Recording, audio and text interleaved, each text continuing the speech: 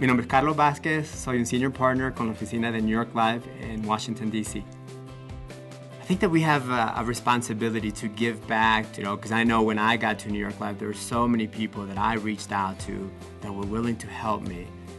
I think the greater responsibility to the community that we have is to understand how largely underserved the Latino market is. So that seems like a great opportunity for us, for our benefit, but then you realize, wait a minute, that's a lot of people that nobody's talking to.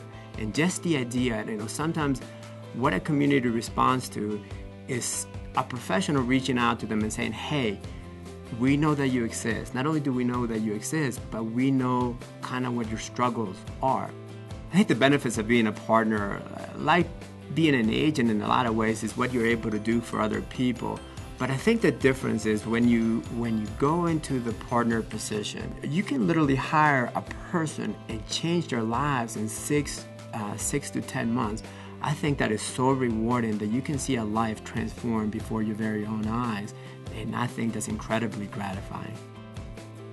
Creo que el impacto más directo que New York Life tiene es el nivel de educación que le podemos dar a la comunidad latina para que las familias puedan proteger a los que lo más aman.